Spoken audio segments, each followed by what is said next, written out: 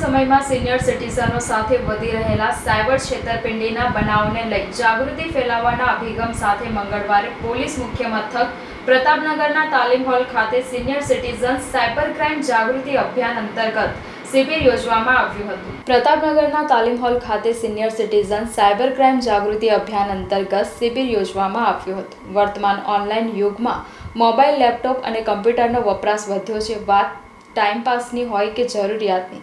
મોટાભાગના કામો હવે મોબાઈલ, લેપટોપ, કમ્પ્યુટર થકી ઇન્ટરનેટના માધ્યમથી થતા હોય છે. ત્યારે છેતરપિંડીના બનાવોમાં પણ મોબાઈલ, લેપટોપ, કમ્પ્યુટર થકી ઇન્ટરનેટના માધ્યમથી થતા થયા છે. જેમાં પણ સોફ્ટ ટાર્ગેટ રહેતા સિનિયર સિટીઝનને સાયબર ગઠિયાઓ નિશાન પર લેતા હોય છે. જે બાબતને ધ્યાનમાં લઈ રાજ્ય પોલીસ દ્વારા સાયબર ક્રાઇમ જાગૃતિ અભિયાનની શરૂઆત કરવામાં આવી છે, જે અભિયાન અંતર્ગત મંગળવારે પોલીસ મુખ્ય મથક પ્રતાપનગરના તાલીમ હોલ ખાતે સિનિયર સિટીઝન સાયબર ક્રાઇમ જાગૃતિ અભિયાન અંતર્ગત શિબિર યોજવામાં આવ્યું હતું, જે પ્રસંગે વડોદરા શહેર પોલીસના ઉચ્ચ અધિકારીઓ અને સી ટીમના મહિલા પોલીસ કર્મચારીઓ ઉપસ્થિત રહ્યા હતા. આજે વડોદરા શહેરના પોલીસ મુખ્ય મથક પ્રતાપનગર હેડક્વાર્ટર ખાતે તાલીમ કેન્દ્રમાં સિનિયર સિટીઝનને જે સાયબર ક્રાઇમની જે એક્ટિવિટી અને ક્રિમિનલ એક્ટિવિટી થઈ રહી છે આ અંગે અમારા બધા સ્ટાફને પીઆઈ પીઆઈ અબો એસીપી, ડીસીપી બધાને અત્યારે જાગૃત કરવામાં આવેલું છે. સી ટીમની જે કામગીરી કરે આ બધું સ્ટાફ અહીંયા હાજર હતો.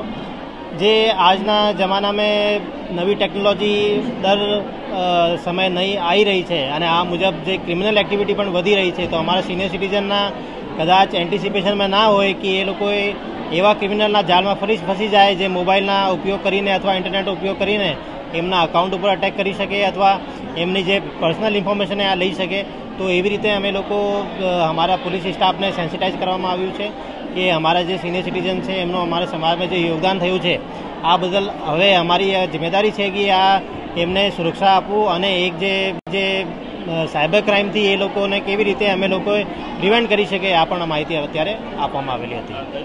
હા, ડીજી ઓફિસથી આ જે ડ્રાઈવ અમે લોકોને આપવાના આવી છે આ આગલા એક મહિના સુધી અને વધારે પણ અમે લોકો આ ચલાવવાના છીએ. ભૂતકાળમાં પણ અમે લોકોએ જે સિનિયર સિટીઝન રજિસ્ટ્રેશનની માહિતી પણ એવી ડ્રાઈવ પણ કરી હતી અને આ ડ્રાઈવને પણ અંગત રહીને અપડેટ પણ કરવામાં આવશે અને જે પણ સિનિયર સિટીઝન એકલા રહેતા હોય અથવા વૃદ્ધાશ્રમમાં રહેતા હોય, એમને એમને વ્યક્તિગત જઈને જે અમારો પોલીસ સ્ટાફ છે, ત્યાં એમની મુલાકાત લેશે, અને એમને કોઈ એમને રજૂઆત હોય તો ત્યાં ત્યાં સાંભળને આગળની કાર્યવાહી કરવામાં આવશે.